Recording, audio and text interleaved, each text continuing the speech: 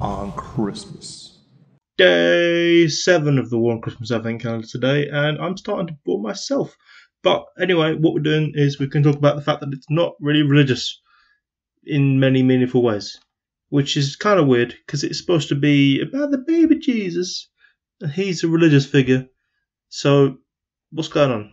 Like, it's a Christian feast day. That bit is quite clear. There's a feast, Christians do it. So, on the day that lines up with when they pretend that Jesus' birthday was, people go to church the night before. All of that bit makes sense. What's with the rest of it, though? Why is this Christmas time and not just winter? I guess that's trotting over the getting older every year thing. But it's not Christmas time for everyone. There's Hanukkah, there's Diwali, there's the Ashes, which probably trumps all of those things. It's cyclocross season. There's a lot going on. Why does this one thing take up so much of it? And the obvious answer there is like commercialization. What on earth are some of these traditional elements of Christmas? Who is Santa? Where in the story of Jesus is Santa?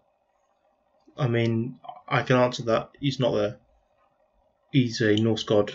He's Woden, and he's crossed with Saint Nicholas, who in Constantinople put money in people's shoes.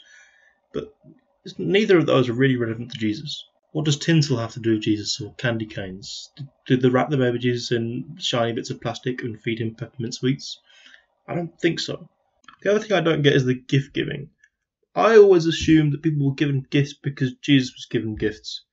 But surely that would mean we should be giving gifts to him, which like in the form of sacrifice or whatever you used to do in the olden days with the Romans and shit, where they would just sort of burn a goat on a temple and say, "Here, you go, have it."